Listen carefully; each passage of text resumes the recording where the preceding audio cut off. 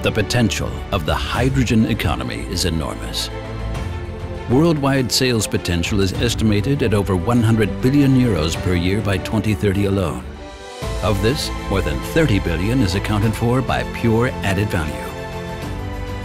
We at Rheinmetall are part of this value chain and a key driver of this technology because we are already in a position to offer multiple technologies and products required for evolving the fuel cell. Whether in the production of tomorrow's energy, its storage,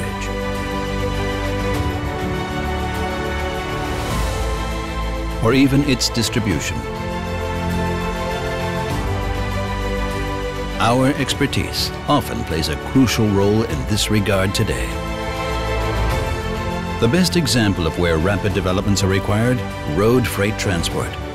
With 47 million tons of CO2 emissions, this area alone accounts for around one-third of traffic emissions in Germany. The EU is demanding that CO2 emissions be reduced by 55% by 2030.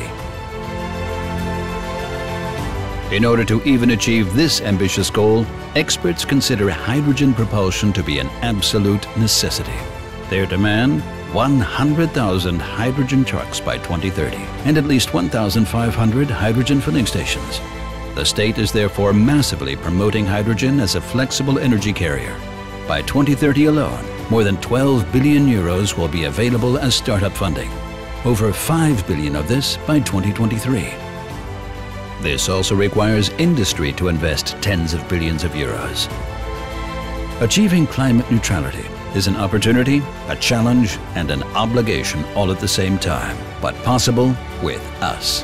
We at Rheinmetall will shape the utilization of hydrogen technology over the next few years and decades in all areas. With all of our knowledge and commitment, we are ready for our moon mission.